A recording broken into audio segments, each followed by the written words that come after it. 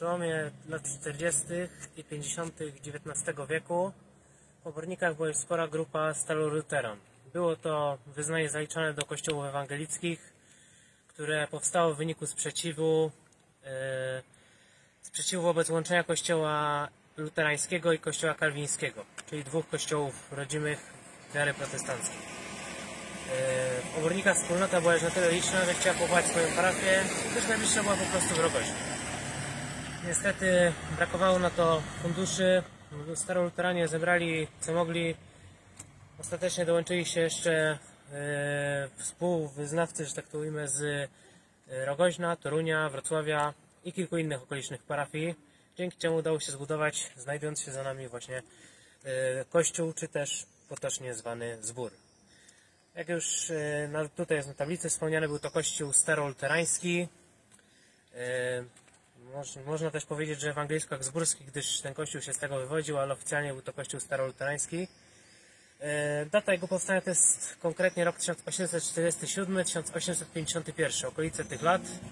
Jak wspomniałem, było to z datków e, obornickich, ale także rogozińskich, toruńskich, wrocławskich i wielu innych staroluteran. E, Staroluteranie obornicy mieli to do siebie, że jakby nie istnieli pod względem narodowość, pod względem religijnym. E, Na początku XX wieku w spisach powszechnych byli, zalicz, byli zaliczeni do wyznawców ewangelicko-habsburskich, luterańskich po prostu i byli to głównie Niemcy zapewne, gdyż tylko Niemcy byli w obornikach wyznania ewangelickiego. Polaków praktycznie e, do tego kościoła nie zaliczano. Losy tego kościoła są no, niezbyt znane. Okres międzywojenny to praktycznie czas, kiedy o kościele nic nie wiadomo. Zachowało się słynne zdjęcie tego kościoła wykonane przez nieżyjącego już fotografa pana Mariana Tykocińskiego, który wykonywał zdjęcia do kroniki miasta powiatowego Obornik w 1925 roku.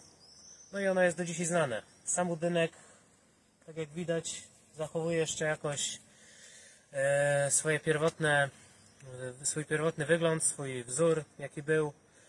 Był to budynek kościelny połączony z domem pastora. Dom pastora to była ta część e, tutaj, tam był dom pastora właśnie, a tutaj był kościół. Tam odprawiano nabożeństwa dla staroluteran, których w okresie międzywojennym było w obornikach naprawdę mało, bo zaledwie 48. Ale jednak parafia istniała i należała do diecezji, której siedziba znajdowała się w Rogoźnie, w obecnym kościele Świętego Ducha. E, no co było dalej, no niestety do końca nie wiadomo. Wiadomo, że staroluteranie istnieje do 1939 roku. Później władze hitlerowskie już za bardzo tego kościoła nie uznawały, gdyż był to kościół jakby oddzielając się od kościoła ewangelickiego bardziej i po prostu najprawdopodobniej został zlikwidowany bądź włączony w struktury kościoła ewangelicko-habsburskiego, który no de facto znajdował się naprzeciwko w sąsiednim tutaj kościele świętego Józefa.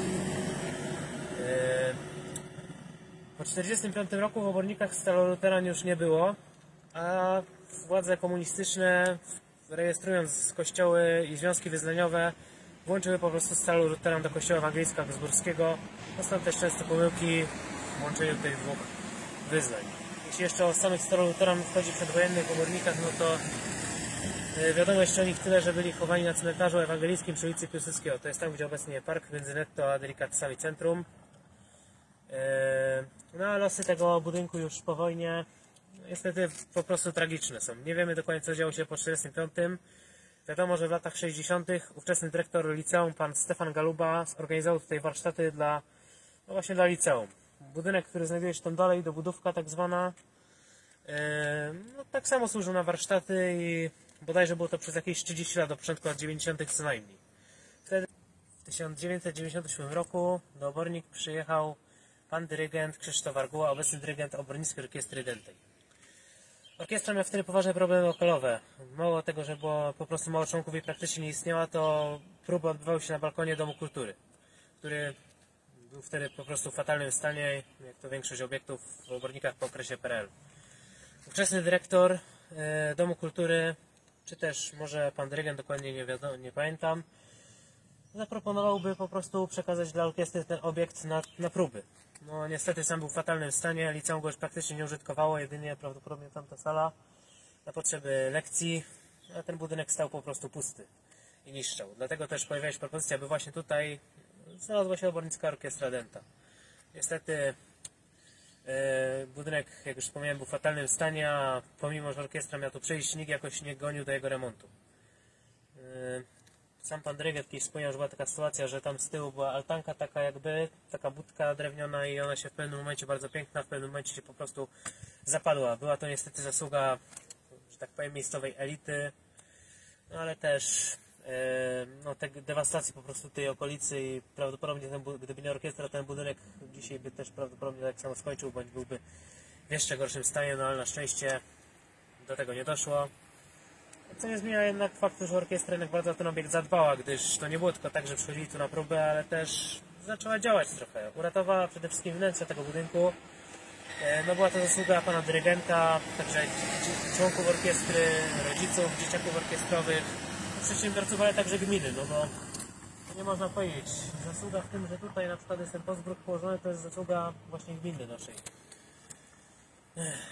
No i tak w 2011 roku doszło do tego, że ostatecznie rozwiązano problem właśnie skarbów między Domem Kultury a Liceum. Sam budynek przez prawie cały czas należał albo do gminy, albo do powiatu, dokładnie nie wiadomo. No i rozwiązano to w taki sposób, że część, w której odbywały się lekcje do budówka trafiła do liceum, a budynek tutaj pod Dom Kultury. Się Obornicki Ośrodek Kultury. No i orkiestra mogła już sobie swobodnie działać, nie było żadnych problemów, że ktoś stąd ją po prostu no, wywali, bo zmieni się jakieś, bo coś się zmieni, albo liceum będzie chciało tu zrobić na przykład kolejne sale lekcyjne w przyszłości. No ale niestety e, przyszedł gorszy czas, że po prostu budynek zaczął także trochę niszczeć. Tutaj ściana się podoba zaczęła zapadać i na początku chyba 2022 roku zapadła decyzja o wyprowadzce stąd orkiestry do czasu remontu tego obiektu.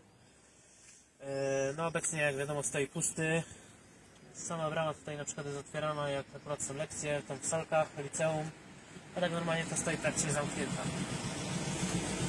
Na- mam nadzieję, szczerze mówiąc, że remont, który teraz jest przeprowadzony, doprowadzi ten budy- budynek do stanu używalności, jaki był za to była orkiestra i przede wszystkim mam nadzieję, że ten szyld nie zniknie i orkiestra tutaj wróci, bo to jest jednak wizytówka naszego miasta i no, uważam, że jako, że to był dawniej kościół, a w wielu miastach kościoły służą właśnie takim celom kulturalnym, to byłoby to po prostu najlepsze rozwiązanie, orkiestra by miała w końcu swoją porządną salę prób, bo w tej chwili gnieździ się na walizkach. No sam obiekt, no, bardzo cenny zabytek jest i przy okazji mam nadzieję, że zostanie wpisany do rejestru zabytków wojewódzkiego.